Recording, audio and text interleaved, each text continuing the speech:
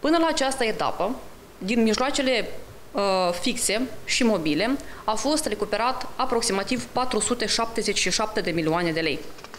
Deci, din suma totală de 13,3 miliarde, 2,6 miliarde de lei sunt mijloace financiare care vor fi recuperate din bunurile care sunt în posesia celor trei bănci comerciale.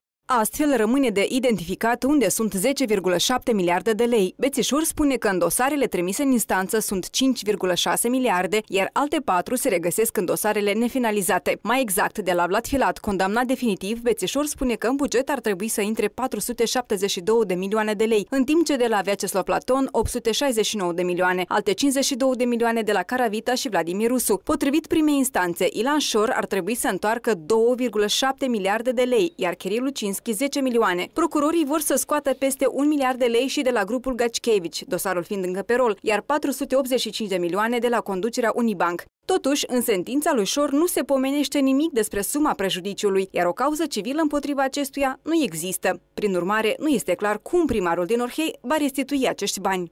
La această etapă nu pot să spun cu certitudine, dar știu că sunt în proces de valorificare și respectiv înstrăinare, o parte din ele. Întrebată de ce pronunțarea unei decizii finale în cazul lui Șor durează atât de mult, Vețișor spune că nu procuratura poartă răspundere. Cauza lui Șor este în instanța de apel la această etapă și respectiv întrebarea nu este către Procuratura Anticorupție. Experții se uită sceptic la strategia de recuperare a miliardului furat, anunțată de procurori, din care nu este clar de unde și cum au fost identificate sumele prezentate în raport. Cei 2,6 nu sunt clari. Sunt banii care au plecat și dacă au plecat 13 miliarde din țară, de ce 3 miliarde imediat să șterg de pe listă? Pentru că s-au recuperat din active alți bani și deci ne duce cu gândul că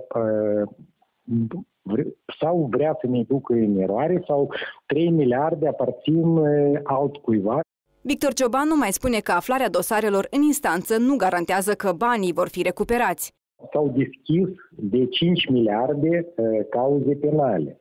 În realitate, în hotărâri judecătorești s-au materializat doar 1,3 sentințele judecătorești.